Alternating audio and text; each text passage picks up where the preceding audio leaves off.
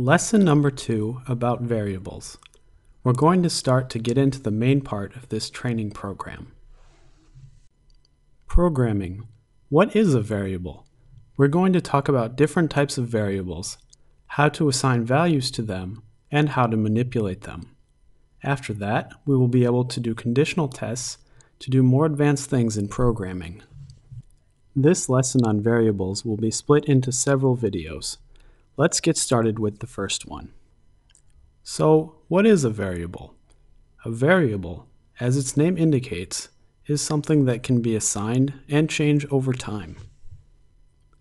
By programming, we can store a value of a variable in the memory of the platform, and then that variable will be available to us. We can then use these values afterwards in our programs and in instructions to reuse something we have saved in the past in later operations.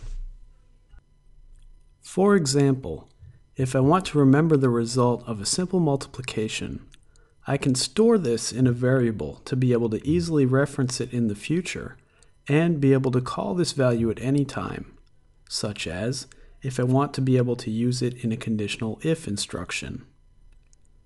This is quite useful because the variable will be remembered in the platform and available for me to use again.